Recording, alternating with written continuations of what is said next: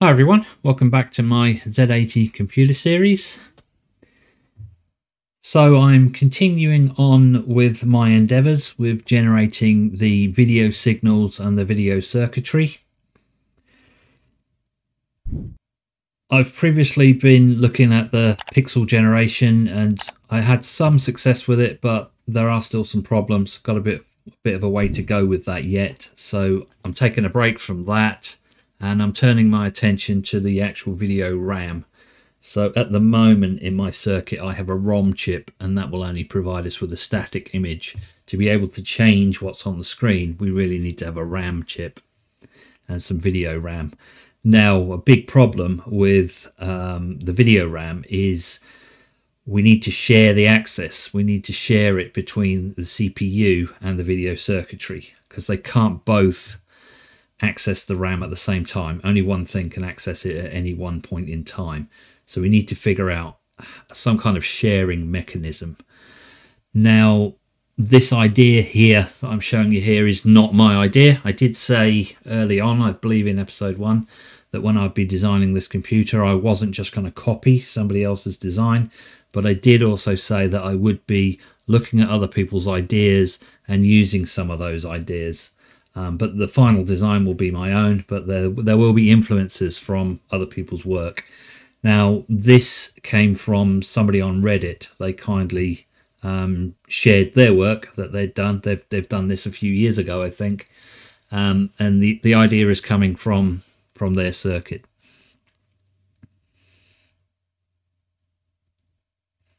So the idea here is when the CPU wants to perform a write to the video RAM, it would set up its own address bus with the address it wants to write to, and it would also set up its own data bus with the data that it wants to write, and then it would latch that address and data into these three registers here.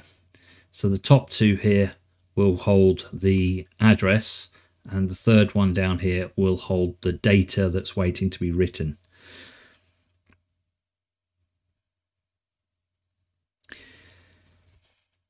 From the CPU's perspective, this is very much like writing data to an output port. In fact, if you remember back a couple of videos ago, I think um, I was using the CPU to actually write to a register. I think I was using a 374 register. These are 574 registers. They are actually identical in functionality to the 374. They just have a, a nicer pin arrangement. And in fact, uh, memory writes and I.O. writes are actually very similar in how they work. So the CPU can just write to these registers without needing to be concerned with any timing of the video circuits. It just writes to the registers and continues on its own business. This in theory should have no impact on the performance of the CPU. There is no additional waiting times. Now on the other side of things, at a convenient point in the video circuitry timing, the video circuits can read from these registers. They can then set up their own address bus and data bus and perform the, the write to the RAM chip. The video circuitry also does not need to be concerned with any timing of the CPU you can just read from the registers, perform its write, and then move on. So this kind of solves the problem of the, the two sides of things needing to coordinate with each other. They can just do their own thing in their own time, which hopefully should make my life a little bit easier as well. Now I might want to think about some mechanism of the video circuitry knowing if there is a write waiting to happen. I was thinking about maybe using a latch. Um, so the CPU write process into the registers could set that latch and then the the video circuitry could um, be triggered by that latch to perform the write and then clear the latch. Um, so we're not, because the video circuitry is very fast, um, the CPU is probably going to ask it to do a write and then the video circuitry is probably going to go around this like thousands of times. We don't want to keep writing and writing and writing the same data. Once we've written it once, we don't need to do it anymore. So it'd be nice to have a mechanism to know when it's done. But I haven't concerned myself with that right now. Um, I've deliberately tried to design this circuit here so I'm not committing myself to any kind of logic. Um, all this circuit is really doing is connecting these registers to the, the RAM chip. Um, and then I'm breaking out all the control lines so I can just think about that later and do my own thing with it. Now, reading is a little bit different. Um, when the CPU wants to read from the video RAM, it will again set up its own address and latch those into the uh, address registers. And then it will try to read from its data bus. So this time the video circuitry will need to notice that there's a CPU read waiting and at a suitable point, again in its own timing, it will need to read from these address registers and perform a, a memory read on its RAM chip. Um, that would put the data out onto its data bus, um, which would appear here on this um, bottom register. It would appear on both registers, but we're only concerned with this one. And then it has to latch that data into that register. So read from the address registers, perform the read on the RAM chip, and then latch the data into the read register. Now it has to do that pretty fast because the CPU isn't going to wait around. The CPU is just going to set up the address and try and do the read. Now, I'll have to check the CPU timing diagrams here to know how much time we need because even with a normal memory write on the CPU, even if we were writing to normal memory, um, that wouldn't happen immediately. There would be some delay between the CPU asking for the data and the memory giving the data back. So we do have some time. I just need to check how much time we have. And one thing we've kind of got on our side with that is the video circuitry is running at a much faster clock speed than the CPU circuitry. So um, I'm, I'm hoping that the video circuitry will be fast enough to do that. So I'll just uh, sort of recap over the control lines. So if we think about the write process again, the CPU will set up its address bus and it will need to drive these lines here. It will need to pulse these lines here high, so this one here and this one here. That will latch the data into these two registers. So that CPU VRAM clock would need to be pulsed high, latch the data into here. Um, same thing would happen sort of on the data bus. CPU sets up the data and then it needs to pulse this line high, CPU write clock. That will latch the data into here. From the video circuitry side of things, again, I said I haven't sorted out how it's going to know that there's some data there waiting, but once it's figured out that there's some data there waiting, what it will need to do is drive these lines low, vCPU, that will enable the output on these top two registers. These lines, this one here and this one here, they're both labeled up vCPU, so they are actually both the same line. So drive them low and then the data will appear here. That's the VRAM address bus, which is also connected to the memory chip. So as soon as it drives these lines low, the memory chip gets the address. Um, it then needs to drive this line low, VWR, that will make the, the data actually appear on the data bus here, the VRAM data bus, which is connected to the RAM chip. And then the only thing it needs to do is to drive this line low, VRAM WR, and it will perform the write.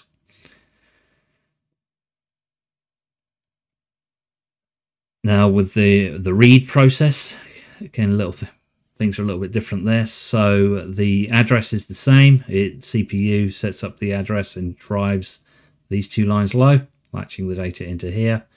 Um, this time it just drives the CPU read line low and it's expecting the data to appear on these outputs, but they're, they're connected to the data bus. So it just expects them to appear on its own data bus as soon as it drops this line low.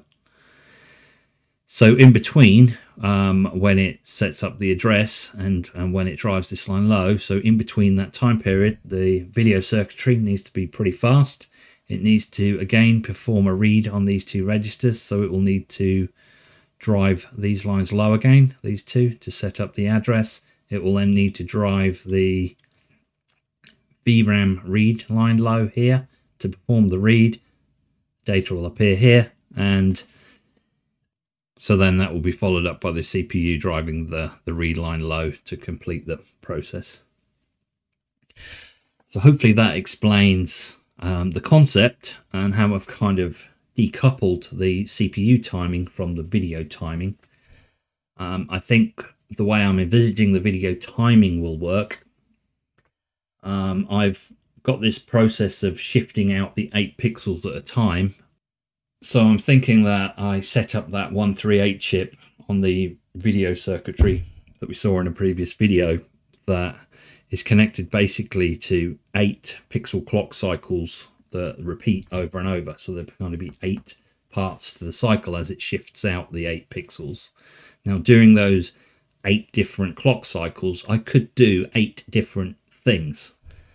Um, so the first thing I'll want to do is a memory read to read the pixel data. And then I want to do a memory read to read the color data. Then I want to combine those together, color and pixel data together.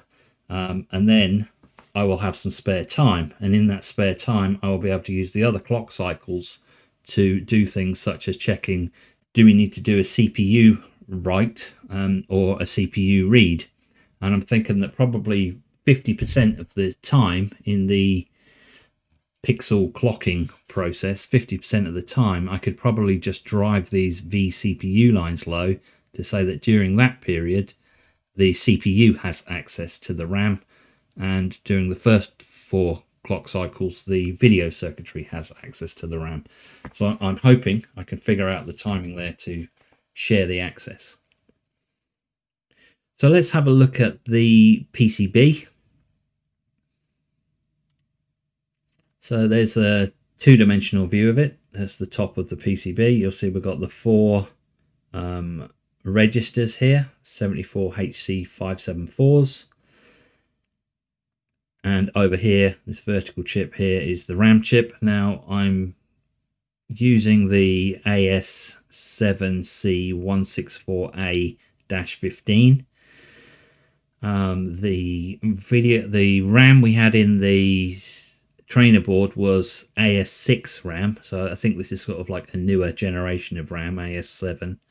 Um, I imagine it's a quite old design now, but probably newer than the AS6 ones that we were previously using. And the 15 here is the typical access time of 15 nanoseconds. So this RAM is considerably faster than the ROM chip that we were previously using. The ROM chip actually had access times of 150 nanoseconds. So this RAM chip should be approximately 10 times faster than that ROM chip, which is again, it's in our advantage when we need so such tight time, when we have such tight timing constraints. And then really all it, the other things we've got on here are the all the pins are broken out, the top and the bottom here.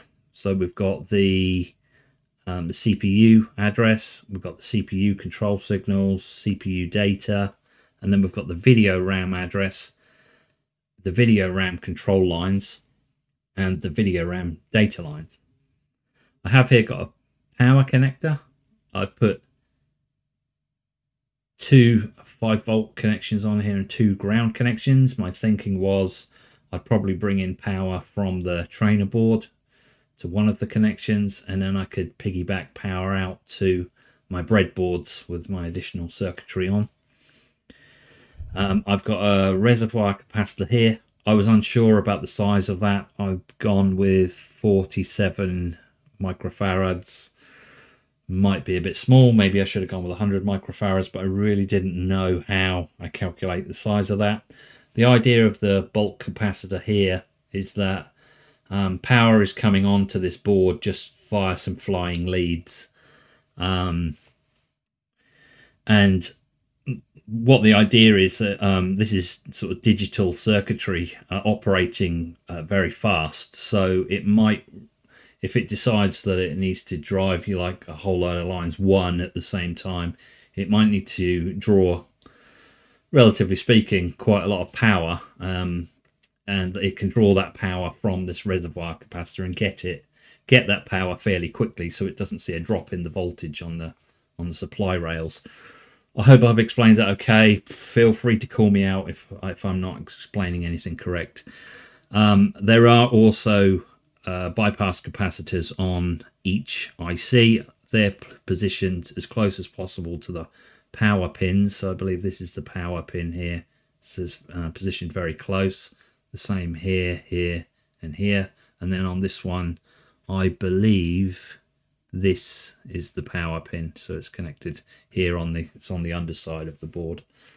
Um, and uh, the idea of these is again the same kind of principle that if the individual chip needs to draw a bit more power it can actually draw it um, very quickly from these capacitors because these are a, a, much smaller capacitor so they can deliver their power much faster although they only have a, a tiny little bit of, of energy stored inside them um, but it also filters out a bit of noise from the power rails as well. Um, I don't really know, because as I always say, I'm not the expert, so I don't really know if they're actually required. Um, and I don't know if we do actually require one on every chip. I always include them on my designs. Um, so if they are needed, they're there. And if they're not needed, they don't do any harm. Um, they don't cost much money you may as well fit them rather than struggling with problems trying to work out what's going on. I personally have never really found any issues without them. Um, but when I was working on the video circuitry the other day, for the first time, I did see the video screen um, was, was missing some pixels. And as soon as I dropped in a bypass capacitor, the pixels appeared. Took it out again, pixels disappeared. So they obviously do have some impact. It's just not always visible to us. Um, so yeah, we'd love to hear your thoughts on on how I've arranged the capacitors, and if you've got um, any other ideas, or if you think I'm doing something wrong, it would just be great to hear other people's ideas and thoughts. Um, that's about it on the PCB. We can have a quick look at the 3D view. So it has rendered all the components. Easy EasyEDA doesn't always have all the, the 3D models, so it can't always render them. Um, you can see that I've decided to use female headers. Um, that's different to what I've done in the past. I've normally used male headers.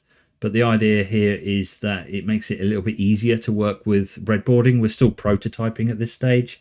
So I want to connect this to a breadboard and it means I can just use the standard male to male jumper wires, standard jump, breadboard jumper wires, um, rather than having to use the male to female wires, which I've found to be a little bit unreliable, but they're they're not too bad. Um, so I'm, I'm undecided if I'm actually going to fit male or female headers, but um, I could decide that later. It makes no difference to the design of the PCB. Yeah, so I'll get this on order. Um, that's about it for now, um, and I'll see you in the next one.